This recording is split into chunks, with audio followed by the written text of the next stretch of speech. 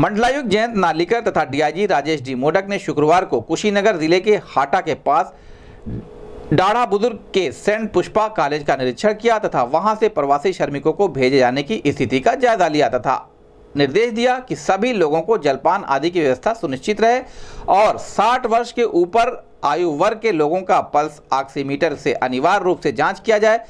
इसके उपरांत उन्होंने हेतिमपुर में पंडित दीनदयाल उपाध्याय राजकीय आश्रम पद्धति विद्यालय प्रस्तावित तथा लक्ष्मीपुर के राजकीय आश्रम पद्धति विद्यालय में में कोविड 19 के एल वन अस्पताल का निरीक्षण कर वहाँ कोविड 19 के संक्रमण से बचाव के लिए किए गए व्यवस्था को देखा और निर्देश दिए कि अस्पताल में खाने, सफ़ाई, मेडिकल टेस्ट का निरीक्षण निस्तारण पर विशेष ध्यान दिया जाए। उन्होंने कहा कि सभी आने वाले प्रवासी श्रमिकों को राशन का किट अनिवार्य रूप से उपलब्ध कराया जाए। इसके उपरांत मंडलायुक्त ने प्राथमिक विद्यालय सिधुआ बाज़ार में 11 निगरानी समितियों के सदस्यों के साथ बैठक कर उनकी हौसला अफजाई की। इस अवसर पर उन्होंने कहा कि कोरोना सर्विलांस में निगरानी समिति की भूमिका बहुत ही महत्वपूर्ण है। निगरानी समिति के सदस्यों को घर घर जाकर लोगों को कोरोना संक्रमण के प्रति जागरूक भी करना होगा। निरीक्षण के दौरान जिलाधिकारी कुशीनगर भूपेंद्र एस चौधरी, मुख्य विकास अधिकारी कुशीनगर सहित अन्य अधिकारी मौजूद रहे। गर्मी में पंखे सब चेक करवा लीजिए पंखे चेक करवा लीजिए ये इनका प्रायोरिटी नंबर टू है।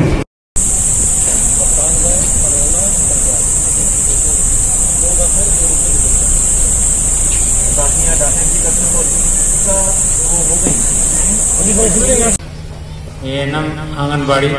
आप सभी लोगों का इस आयोजन में स्वागत है। और आप लोगों को पता होगा कि ये जो हमारी निगरानी समिति बनी है। अभी कुछ बताया होगा अब मैं ज़्यादा समय न लेती हुई इस अवसर पर। पहले समिति है जिसकी वजह से हम इस प्रोग्राम को कंट्रोल कर पाएँगे। हमें नहीं पता है कि कितने ज़्यादा लोग इस बीमारी से पीड़ित director health CMO health PD PRDA